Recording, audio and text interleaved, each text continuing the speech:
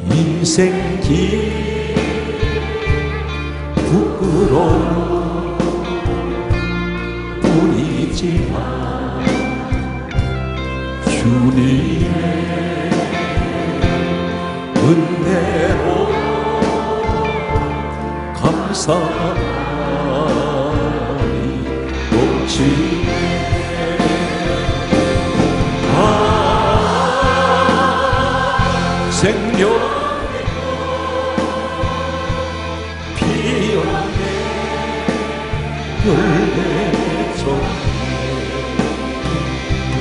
나는 다시 태어났네 그 이름 생명나무라 발걸음 언제나 주를 향해 걸었으나 맘과 눈길은 세상을 향하였네 주님이 살겠다고 맹세한 나의 고백.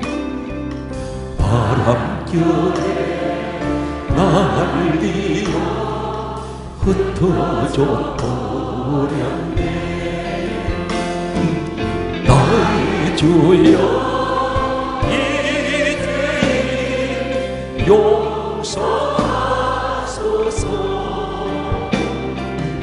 이제는 그 사랑 전날이 이 세상 끝날까지. 불순종한 내 모습 생각하지 않고서 괴로울 때 세상만을 원망하며 살았네. 우리 주님 아픈 가슴 안중에도 없었으니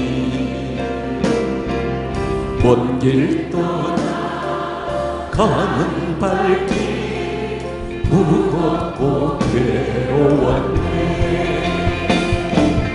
나의 주여 이제 용서하소서 이제는 그 사랑 전날이 이 생명만으로. 눈을 감고 조용히 생각을 해보니 지금까지 살아온 길 주님이 인도했네. 외면하지 않으시 우리 주님. 때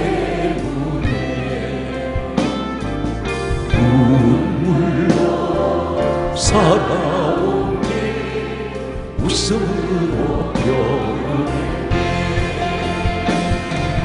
나의 주여 이제 용서하소서.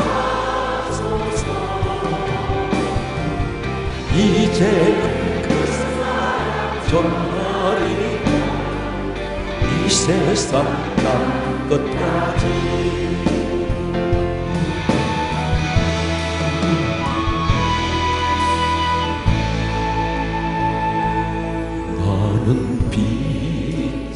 진자 나는 빚진 자 예수님께 빚진 자 나의 죄짐을 대신 지시고 십자가에 달리셨네. 오 나의 아버지 이 죄인을 받으소서. 구주 예수님 주의 성령님 갚을 길 없는 은혜 이 생명 바쳐 이 몸을 바쳐 죽도록 종사하리라. 나는 빚진 자 나는 빚진 자 예수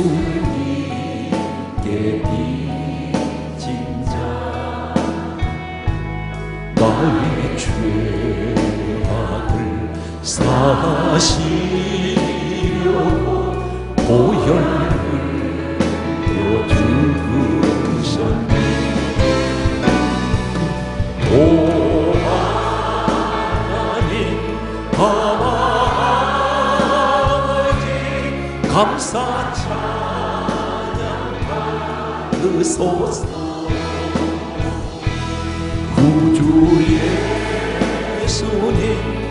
주의 성령이 내게 능력 주소서. 이 생명 맞춰 이 몸을 맞춰 죽고 죽사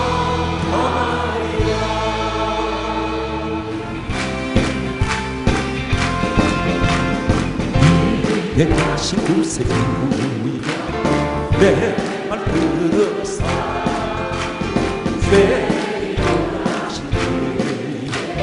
세이날 부르소서 주여 내말 들으사 죄 날 부르소서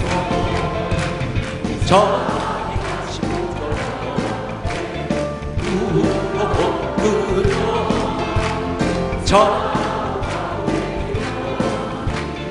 네. 이놈 주소 주여 내말 들사 그 죄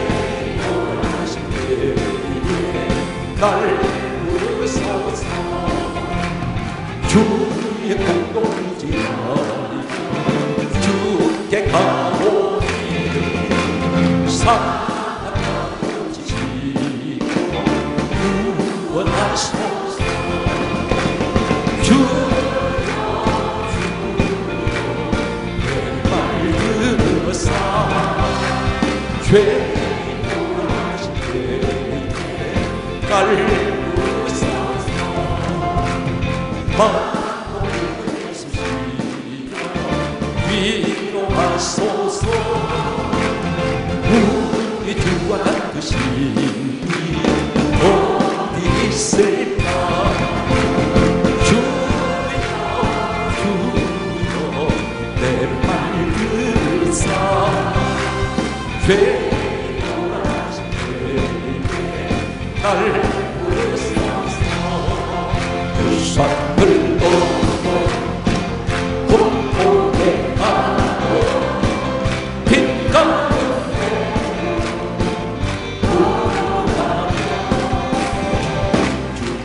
som.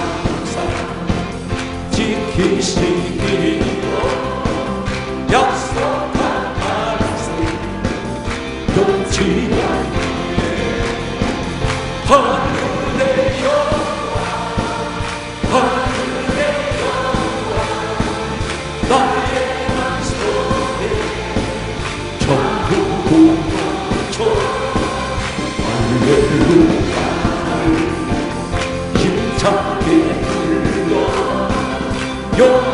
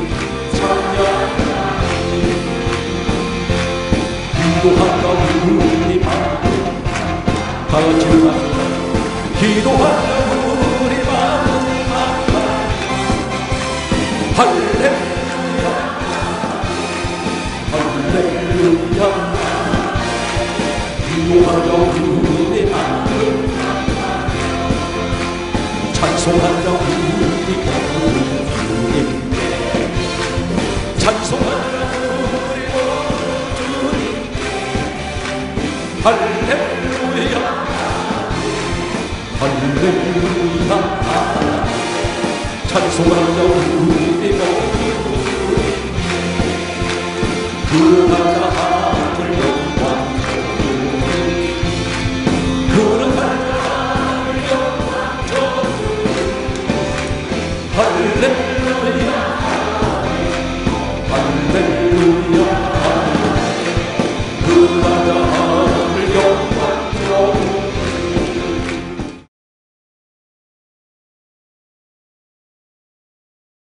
우리나라는 지금 4대 위기에 직면하고 있습니다. 먼저 하나는 자연의 위기가 항상 도사리고 있습니다. 지진, 그리고 여러 가지 바다에서, 육지에서, 그리고 땅 밑에서도 항상 이 위험은 도사리고 있습니다. 두 번째 위기는 질병의 위기입니다. 전염병이 신종 전염병이 밀어닥칠 때 속수무책입니다. 처방약이 없습니다. 늘 이 처방을 하기에는 이미 한 걸음 늦게 손을 쏠수 없는 그런 시대가 바로 이 시대입니다. 또 한 가지는 전쟁의 위기입니다. 6.25 전쟁이 발발한 지가 이제 70년이 가까워오는데도 계속해서 전쟁의 위기로부터 우리는 벗어나지 못하고 있습니다. 네 번째 위기가 가장 심각한 위기는 가정의 위기입니다. 어느 가정이든 문제가 없는 가정은 하나도 없습니다. 말 못한 그런 가정들이 여러 가지 포장을 해두었는데 그 포장은 대단히 아름답게 보입니다. 그런데 그 포장을 뜯어보면 그 속에는 온갖 문제 투성이가 오늘 이 사회의 모든 가정에 곳곳에 자리 잡고 있습니다. 그러다 보니 자연이 상처를 많이 가지고 있습니다. 환경에서 오는 상처, 또 질병으로 고통받는 사람들은 가시가 내 몸속에 박혀 있는 것 같이 늘 고통스럽습니다. 시시각각 이 아픔 때문에 몸부림을 칠 때가 있습니다. 자녀를 둔 부모님들에게는 가장 큰 가시가 자녀라는 가시입니다. 어느 재벌가가 이렇게 말했습니다. 자녀는 내 호주머니에 있는 송꽃과 같다. 그렇게 말합니다. 항상 찌를 수가 있습니다. 아프게 할 수가 있습니다. 평생 이 자녀의 아픔은 부모님은 근심을 가지고 평생 이 땅 떠날 때까지도 자녀의 아픔을 안고 이 땅을 떠나는 그러한 부모님들이 있습니다. 이 가시는 두 가지가 있습니다. 타이에 의해서 오는 가시, 그리고 내 내면 속에 자리 잡고 있는 가시. 가난이라는 가시가 나를 찌르고, 질병의 가시가 찌르고, 사람의 가시가 나를 찌르면서 내 속에 내면적인 이 아픔의 가시를 늘 많이 가지고 있습니다. 어릴 때부터 기억하고 싶지 않는 그 상처의 가시가 있습니다. 때론 부부 사이지만 남편에게도 말 못하는 아픔의 가시를 아내가 가지고 있습니다. 동시에 남편에게도 동일한 이런 가시를 가지고 있을 것입니다. 그러다 보니 하나님께서 우리를 보실 때 나는 크게 쓰임받지 못할 것 같고 나는 버림받은 것 같고 우리 가정은 더 이상 희망이 없는 것 같고 그래서 절망할 수밖에 없고 때때로 교회 나와서 예배는 드리고 있는 진정한 남들이 볼 때는 저 사람은 교회 다니는 사람이야 저 사람 은 장로야 권사야 집사야. 저 교회에서 그 여러 가지 직분을 가지고 있는 회장이고 여러 가지 직분을 자랑하는 사람이지만 나 자신을 내가 돌아보았더니 참 한심하기 그지없고 내일 일을 기약할 수 없는 늘 불안과 두려움 속에 오늘 또 예배드린 분이 있을 것입니다. 이러한 상황이 있을 때 하나님은 오늘 이 가정의 달을 맞이하면서 우리에게 무엇이라고 말씀할까요? 오늘 본문 내용은 다음과 같습니다. 하나님께서 모세라는 사람을 지도자로 세우시고 가난이라는 그 땅을 약속으로 주셨습니다. 이스라엘 백성들과 함께 광야 40년 길을 걸어갈 때 도중에 하나님께서 신의 산으로 모세를 올라오라고 말씀하셨습니다. 모세는 하나님 말씀을 듣고 신의 산 꼭대기에서 하나님을 40일 동안 하나님을 만나 뵙게 됩니다. 이때 하나님께서는 이 지상에 최초로 세워지는 하나님의 집을 짓는 설교들을 말씀하셨습니다. 그 가운데 하나가 하나님의 집을 지을 때 오늘 복음적으로 이 집은 오늘 하나님 몸된 교회를 의미하며 동시에 하나님 택한 자녀가 살고 있는 가정을 의미하기도 합니다. 출애굽기 26장 15절에 다음 같은 말씀을 하고 있습니다. 너는 조각목으로 성막을 위하여 널판을 만들어 세워라 이렇게 말씀합니다. 널판을 만들어서 세우라고 말씀하고 있습니다. 참고로 말씀드리겠습니다. 이 조각목 이 나무가 어떤 나무이냐면 아카시아 나무과의 나무입니다. 지금 하나님께서 모세에게 말씀하시는 이 지역이 어디냐면 사막입니다. 가도 가도 끝이 없는 사막입니다. 열사의 사막. 이곳에는 여러 종류의 나무들이 사막에서 자랍니다.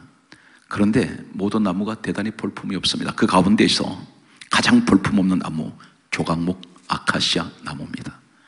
이 나무는 사람들이 싫어합니다. 워낙 앙상하게 가지만 뻗어나 있습니다. 그리고 이 사람들이 그 나무를 가까이 가기 싫어하는 것은 손을 나무에 대면 전부 찌르는 가시밖에 없습니다. 온통 이 나무는 가시가 잔뜩 돋아나 있습니다. 크고 작은 가시들이 온몸에 돋아나 있습니다.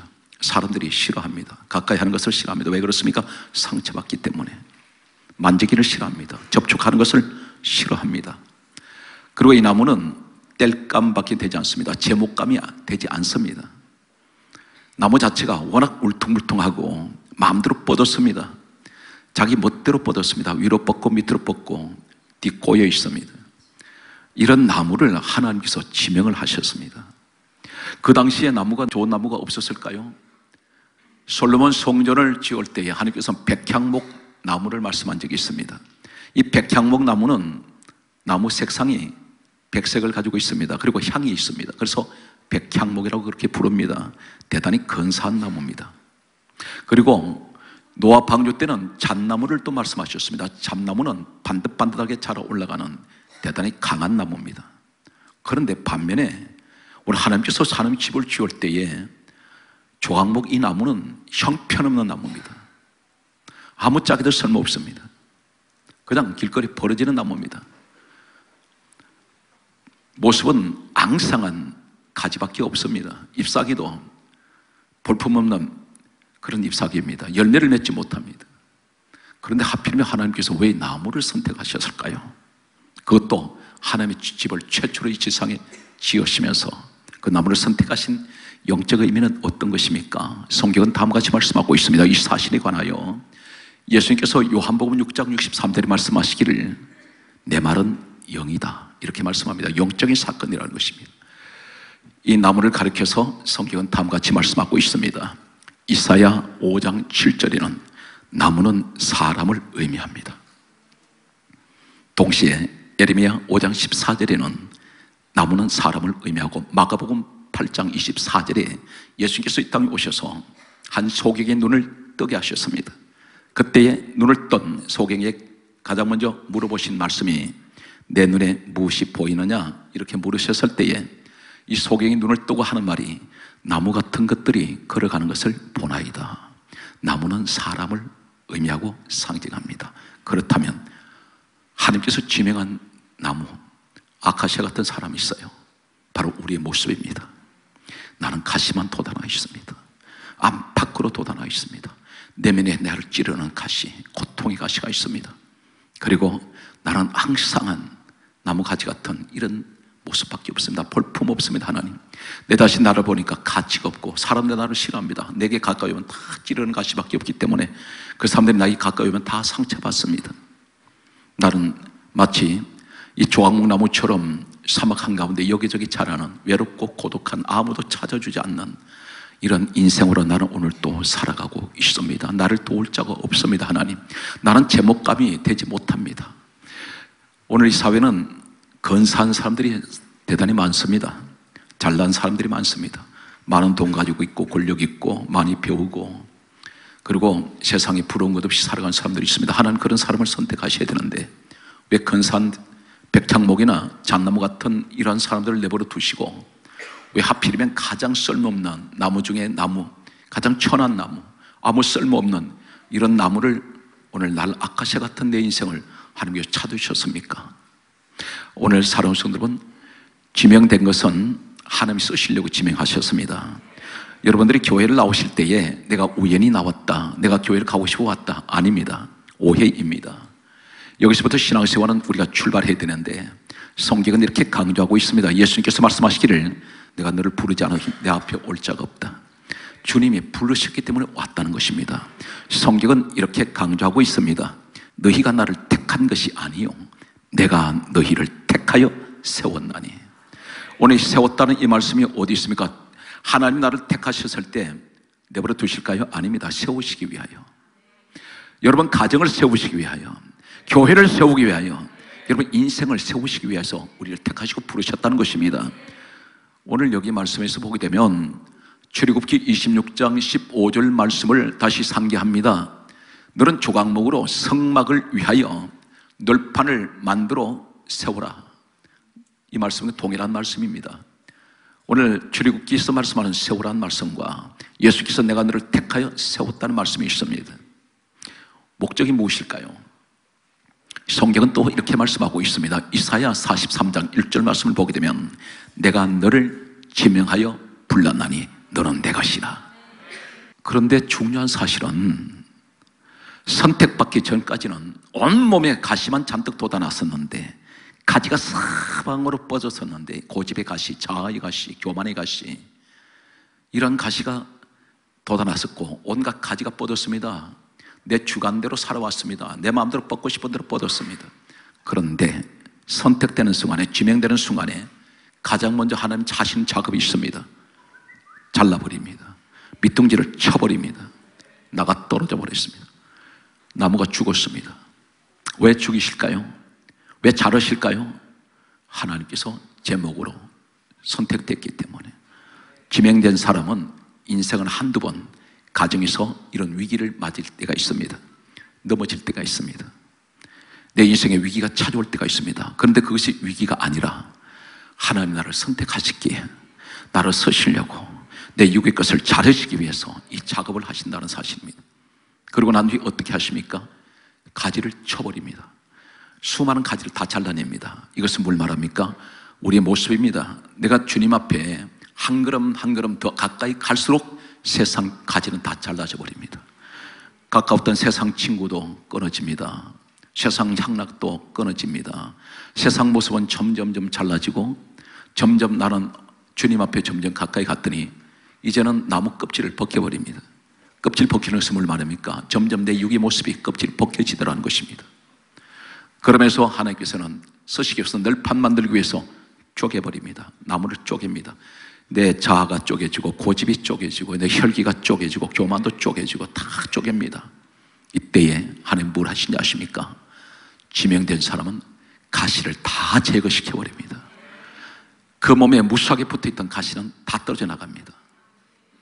그러면서 하나님께서 반듯하게 다듬어서 그분이 서시기 위한 목재로 제목으로 만들어냅니다.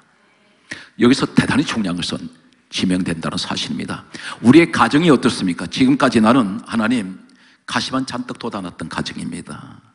내 가정에 서로 시기하고 질투하고 아집과 서로 손가락질 하면서 상대방 탄만하고 살았는데 하나님 이제는 우리 가정이 더 이상 소망이 없는 것 같습니다. 현실에서 나를 보니 평범하게 이렇게 살다가 나는 이 땅을 떠날 것 같습니다. 했는데 오늘 주님이 나를 지명하시더니 아카시아 같은 내 인생이라도 주님 지명하시더니 다 가지 다 치시고 그리고 나는 죽은 줄 알았더니 내 하나님 서시기 위해서 작업하신 작업은 나를 육을 죽이시고 그리고 서신 한 방법이 가시를 다 걷어내시고 내 육의 껍질도 벗기시고 나를 쪼개셔서 하나님 제목으로 서시려고 준비하셨습니다. 우리 모습이 되시기 바랍니다. 그러므로 우리가 결코 낙심할 것은 없은 것은 많이 가진 사람들, 잘난 사람들을 우리가 때론 부러워합니다. 때론 존경스럽기도 합니다. 그런데 하나님께서 말씀합니다. 너는 내가 너를 어떻게 쓰려고 준비한 것을 네가 아느냐? 우리 사실 앞에서 고린도 후서 5장 17절을 기억합니다. 그런적 누구든지 그리스도 예수 안에 있으면 새로운 피조물이라. 이전 것은 지나갔으니 보라 새 것이 되었도다. 예수 그리스도 안에 있으면 이전 것은 다 지나갑니다. 그 가시도 다 제거시킵니다. 껍질을 벗겨냅니다. 가지 잘라냅니다. 중요한 것은 이제는 나는 새 것이 되었습니다. 새로운 피조물이 되었습니다. 하나님께서 새롭게 쓰시려고 다듬으셔서 과거의 모습은 사라져 버렸습니다. 그래서 이 널판을 세우시는데 첫 번째 목적이 무엇일까요? 왜 널판을 만드십니까? 첫 번째는 다시 강조합니다. 출애굽기 26장 15절에 너는 조각목으로 성막을 위하여 널판을 만들 때 그것을 세우시기 위하여 따라서요 나를 세우시려고 나를 지목했습니다. 내 가정을 세우시려고 그 힘들고 어려웠던 나를 잘라내실 때 나무가 넘어지면서 얼마나 고통스러웠겠습니까? 지난날의 그 고통은 이제는 다 잊혀지고 나를 가지치기 하시고 가시 다 제거하시고 껍질 다 벗겨내시더니 나를 다 쪼개셔서 결국은 주님의 제목되게 하시더니 과거의 내 모습은 이 아카시의 모습은 찾아볼 수가 없습니다. 반듯하게 만들어진 그 제목으로 나왔습니다. 우리 모습이 되시기 바랍니다. 첫 번째는 하나님이 세우시려고 작업하셨습니다. 이 널판은 여러분 가정이 되시기 바랍니다. 이렇게 말하십시오. 항상 가족들 가운데 실수를 했거나 아니면 무슨 잘못을 저질렀거나 할 때에 그것을 죄를 지적하기보다는 세워주는 이러한 사람이 되셔야 됩니다. 다시 일으켜주는 사업이 실패했으면 다시 일어날 수 있도록 가족들이 힘을 합해서 기도하며 믿음으로 이 사람을 격려해서 잡아 일으켜야 합니다. 반드시 하나님께서는 아카시아 나무 같은 인생도 이렇게 귀하게 쓰십니다. 두 번째는 왜 널판을 만드셨을까요? 오늘 성경은 또 이렇게 강조하고 있습니다. 열왕기상 6장 9절 말씀 보게 되면 널판은 덮으시는 일을 하기 위하여 덮는 일을 하기 위해서 이 널판 조각목을 가지고 널판을 만들었습니다. 첫째는 세우는 일, 두 번째는 덮는 일입니다. 덮는다는 것이 무엇을 의미하고 있을까요? 그 한 사건을 보게 됩니다. 창세기 9장 23절 말씀을 보게 되면 노아의 집에 세 아들이 있었습니다. 함, 셈, 야벳. 어느 날 아버지가 포도주를 마시고 취해서 하체를 벗었습니다. 아버지가 벌거벗고 있는 모습을 함 아들이 들어와서 아버지 하체 벗은 것을 보고 나가서 형들에게 사방에다가 소문을 내고 퍼뜨렸습니다. 흉을 보고 비판하기 시작합니다. 허물을 덜쳐내었습니다. 이때에 같은 노아의 아들 가운데 셈 야벳은 이 이야기를 듣고 난 후에 옷을 가지고 뒷걸음질 쳐서 아버지의 하체를 보지 않고 덮습니다. 덮는 자와 덜 추는 자가 있습니다. 훗날에 하나님께서는 노아 아버지를 통해서 함을 저주해 버립니다. 허물 덜추는 자 같은 가족입니다. 노아의 가정에 이런 일이 일어났습니다. 반면에 셈 야벳은 아버지의 허물을 보지 않고 덮었을 때 그 두 사람을 하나님께서 축복하시면서 셈 야벳을 창대케 하셨습니다. 교회에서 가정에서 덜추는 자의 허물이 있습니다. 한 예로 백화점에서 한 벌의 옷을 구입을 했습니다. 대단히 근사한 옷입니다. 집에 가져왔습니다. 그 옷을 입었습니다. 방금 새 옷을 가져왔는데 입고 털면 먼지 안 날까요? 먼지 납니다. 무엇을 말하는지 아십니까? 인생은 어느 곳이 가든지 다 털면 먼지 나게 되어 있습니다. 모든 옷은 다 그렇습니다. 가정에서 계속 턴다면 사방에 먼지 투성입니다. 덮어야 됩니다. 그 덮는 것을 어떻게 덮어야 됩니까? 실수를 잘못을 지적하기보다는 사랑으로 덮는 사람. 하나님께서는 반드시 이 가정을 축복합니다. 성경 말씀을 보게 되면 예수님이 이렇게 말씀하셨습니다. 마태복음 5장 13절에 말씀하시기를 너희는 세상의 소금이니 이렇게 말씀하셨습니다. 동시에 마태복음 5장 14절에 너희는 세상의 빛이니 이렇게 말씀하셨습니다. 소금, 빛 공통점이 있습니다. 소금은 녹아야 맛을 냅니다. 소금이 녹지 않는 상태에서는 결코 맛을 낼 수가 없습니다. 그런데 우리 가정이 어떻습니까? 우리 주님 말씀하시기를 너는 소금이 되라 했는데 녹기를 거부합니다. 반면에 나는 녹기를 거부하면서 상대방한테 당신이 녹아야 된다고 말합니다.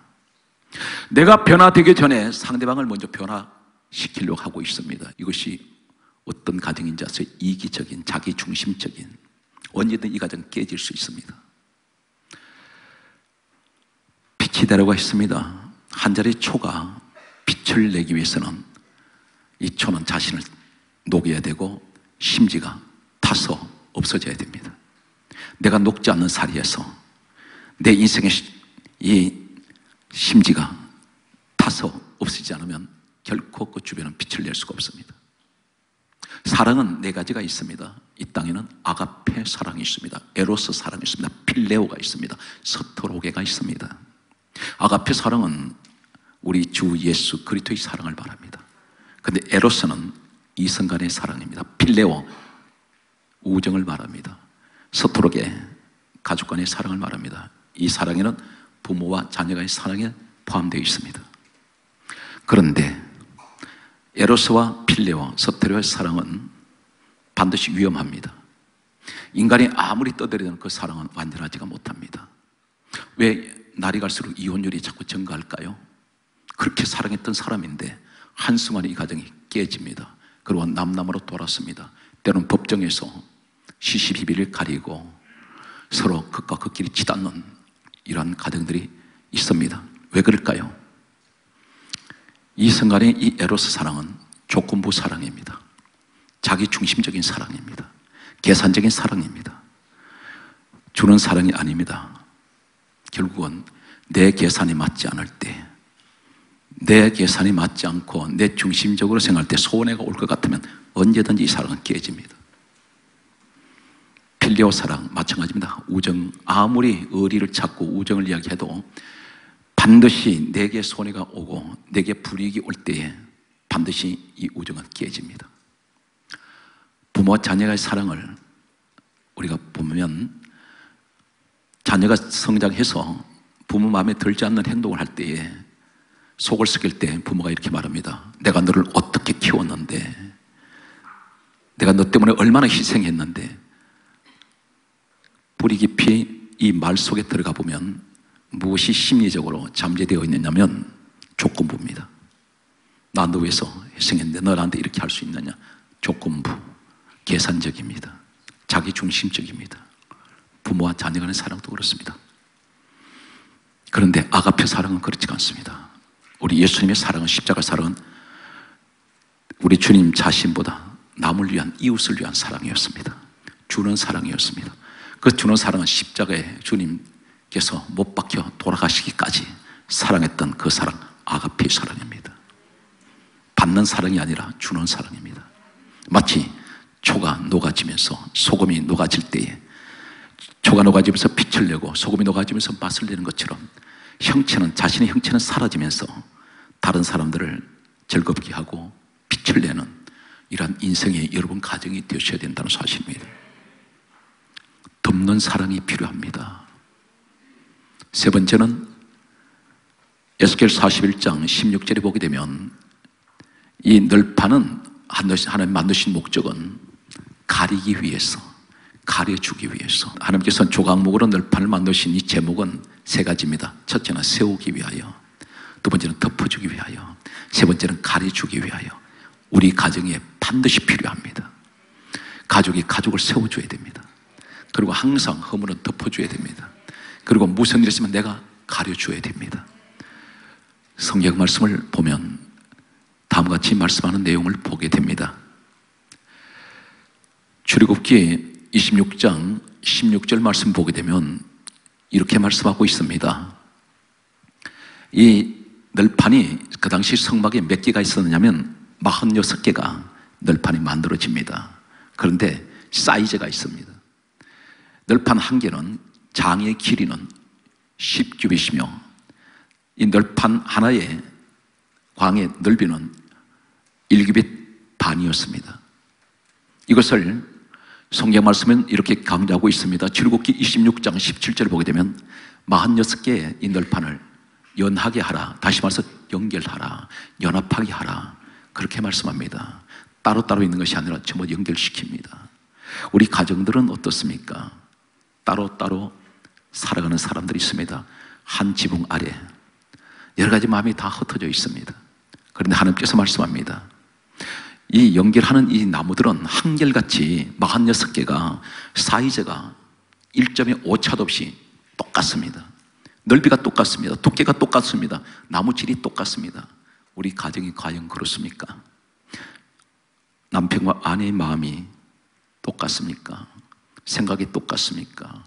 길이를 위로 지어봐도 넓이로 지어도 항상 이 부부간에 모든 것이 똑같은 이런 가정은 진정으로 행복한 천국입니다. 그런데 그렇지가 못하다는 것입니다. 그런데 하나님 나라는 하나님 집 교회는 오늘날 하나님께서 짓는 이 성막은 모든 것이 똑같습니다. 한결같이 제목 삼으신 이 널판 같은 일꾼들은 사이즈가 전부가 똑같습니다. 그런데 그들이 어디를 보고 있을까요? 성경은 이렇게 강조하고 있습니다. 출애굽기 26장 18절 말씀 보게 되면 남편의 널판을 세워 놨습니다. 그리고 출애굽기 26장 20절 말씀 보게 되면 북편에 또 세워 놨습니다. 널판들이 다 서 있습니다. 그리고 출애굽기 26장 22절 말씀 보게 되면 서편에 널판이 또 세워져 있습니다. 남편, 북편, 서편. 다시 말해서 남쪽, 북쪽, 서쪽에 널판들을 똑같은 사이즈로 세워 놓았습니다. 그런데 동쪽에는 왜 널판을 세우지 않습니까? 바로 하나님 집, 이 성막의 동쪽에 유일하게 성막으로 들어간 문이 있습니다. 이 문은 무슨 문입니까? 하나님 집으로 들어가는 이 문은 구원의 문, 생명의 문, 축복의 문, 죄 사함의 문입니다. 그런데 이 문을 가리켜 예수님께서 이렇게 말씀하셨습니다. 요한복음 5장 46절 말씀을 보게 되면 이 출애굽기를 기록한 모세를 가리켜 모세는 내게 대하여 기록했다. 그렇게 말씀하고 있습니다. 오늘 이 사건은 예수 그리스도를 이야기하고 있다는 것입니다. 오늘 그런데 요한복음 10장 9절 말씀을 보았더니 예수님께서 이렇게 말씀합니다. 내가 문이다. 주님이 문이시라는 거예요. 그 문 들어오면 생명의 문으로 들어옵니다. 그 문 들어오면 죄사함의 문으로 들어옵니다. 그 문으로 들어오면 축복의 문으로 들어옵니다. 그 문으로 들어오면서 하나님 안으로 들어오고 있습니다. 그런데 이 문이 바로 예수님께서 말씀하시기를 내가 문이다. 그렇게 말씀하셨는데 그렇다면 남쪽과 북쪽과 서쪽에 서 있는 널판들 한결같은 사이즈가 똑같은 두께가 똑같고 질이 똑같은 그들의 모습은 어디로 중심으로 서 있냐면 바로 동쪽 문을 중심으로 해서 둘러싸여 있습니다. 우리 목적이 어딘가요? 주님 앞에 나온 사람들은 한결같이 모든 교회는 모든 어떤 직분자라도 이 직분을 가진 분들은 한결같이 사이즈가 똑같고 모습이 똑같고 어디를 중심으로 예수 그리스도 생명의 문이 되시는 주님을 중심으로 서 있어야 된다는 사실입니다. 우리 모습이 되어야 됩니다. 연합해야 됩니다. 항상 교회는 예수 그리스도를 중심으로 하나가 되어야 됩니다. 우리 가정이 마찬가지입니다. 가정은 여러분 가정이 하나님 택한 가정입니다. 그 택한 가정이라면 주님이 거 계셔야 됩니다. 그렇다면 우리는 어떤 사람이 되어야 됩니까? 항상 똑같은 믿음의 모습을 가진 가족들, 똑같은 사랑의 모습을 가진 가족들, 그들의 한결같이 주님을 중심으로 귀한 교화 가정이 세워져야 됩니다. 성경 말씀을 계속해서 보면 성경은 그러므로 우리에게 다음 같은 말씀을 하고 있습니다. 말씀의 결론을 가면 출애굽기 26장 성경 말씀은 19절 말씀 보았더니 46개의 이 널판 제목들을 밑받침이 은으로 되어 있습니다. 은받침입니다. 은으로 전부 다 받쳐놓았습니다. 은은 보물입니다. 그런데 더 놀라운 사실은 출애굽기 26장 29절 말씀을 보게 되면 46개의 이 널판들, 똑같은 사이즈를 가지고 있는 이 널판들은 깎아서 만들어진 옛 모습에 과거에 가시도 없고 사방으로 뻗었던 가지도 없고 온전히 다듬어진 이 아름다운 제목이 되어 있는 이 나무들을 금으로 싸라 말씀합니다. 금으로 싸버립니다. 지상에서 가장 나라가 다르고 인종이 다르고 언어가 다르고 문화가 다 달라도 한결같이 지구상에서 모든 사람들이 좋아하는 것은 가장 귀한 보물은 금입니다. 그런데 이 조각목 아카시아 나무를 다듬어 놨더니 하나님 금으로 싸버리라 말씀합니다. 금으로 싸면 실제로 무엇을 말합니까?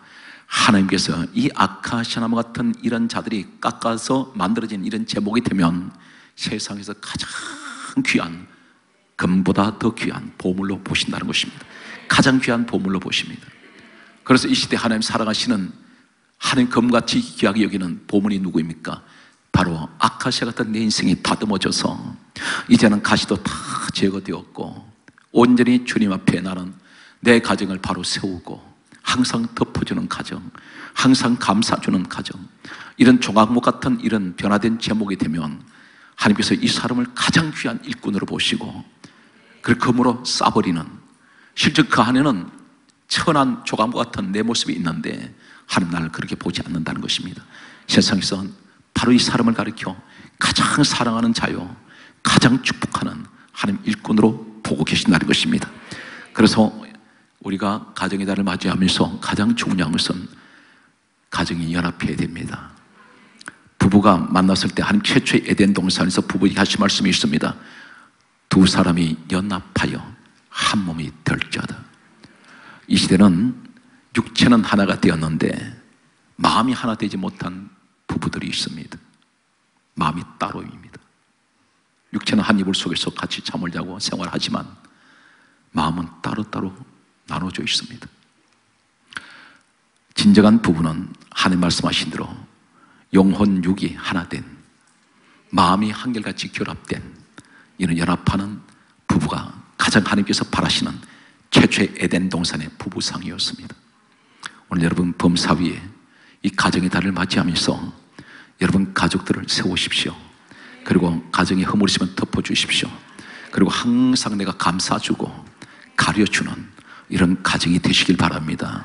그래야 할 때 하나님께서는 이 가정의 모든 사람들을 다 금으로 싸는 최고의 가장 귀한 보배 같은 그런 사람으로 하나님께서는 축복하실 것입니다. 이 한 주간에도 범사위에 여러분 가정의 주님의 축복이 함께하시기를 주의 손으로 축원합니다.